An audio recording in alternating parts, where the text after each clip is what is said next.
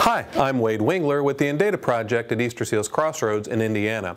We use iPads for a whole lot of things. Josh Anderson is going to show us how to use the built-in magnifier just to make stuff a little bit bigger and easier to see on your iPad.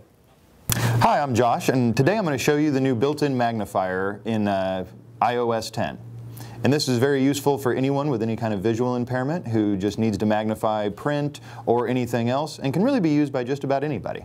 Okay, so the first thing I'll show you how to do is how to turn on the magnifier. And this is actually built in, so if you have any kind of iPad, iPhone, or iPod running um, iOS 10, this will be a built-in feature. So first I go to my settings, and I go to General. And from General, I go to the Accessibility tab. And once I click on that, you'll see the choice for magnifier.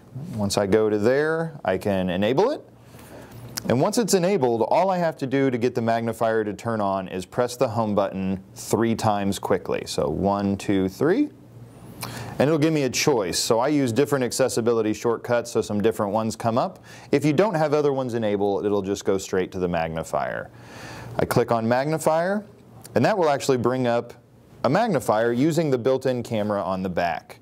From here I can do all kinds of different things. There's a slider at the bottom, and I can use it to zoom in and make things actually quite large and still pretty clear. But it has other settings that are very helpful as well.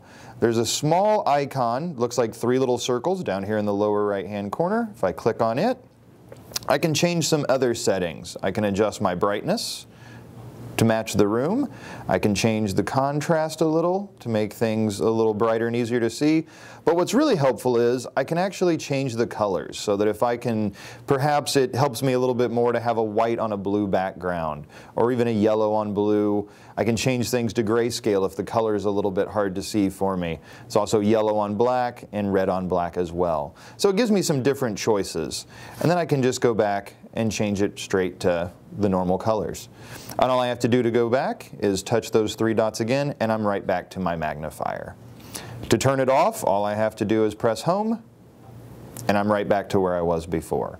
So again, very important, if you do turn on the magnifier, an icon doesn't show up. So there isn't something that you can just click on. You will have to press that home button one, two, three times, click on magnifier, and it's right there. It's not quite as good as some of the handheld magnifiers that you can buy aftermarket, but it is built in, it's free, it doesn't cost anything, and it's on a device that you probably already carry on your person every day. So this can help at the grocery store, trying to read documents, uh, look at prices, even look at pictures of, uh, of friends and family. So it's a very cool thing that Apple was nice enough to build into their newest operating system. So there's a great way to get adjustable levels of magnification right there on that handy iPad device. That's your tech tip for this week. I'm Wade Wingler with the INDATA Project at Easterseals Crossroads in Indiana.